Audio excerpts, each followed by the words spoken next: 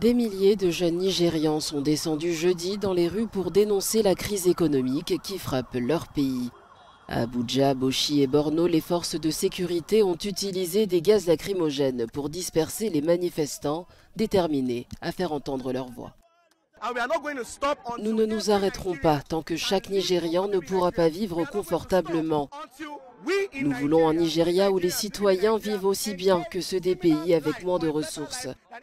Il est temps que nos richesses bénéficient à tous.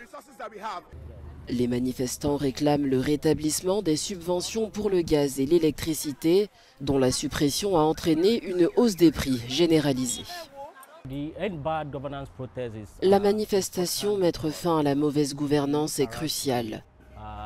Si vous regardez autour de vous, le prix du carburant a triplé. Les gens ne peuvent plus se permettre de faire beaucoup de choses, alors les entreprises ferment. Beaucoup de petites sociétés ne peuvent même plus payer leur personnel. Et sur les marchés, beaucoup de commerçants, beaucoup de femmes n'ont plus les moyens d'acheter des produits, ce qui rend très difficile la vente de leurs marchandises car les acheteurs n'ont plus les moyens.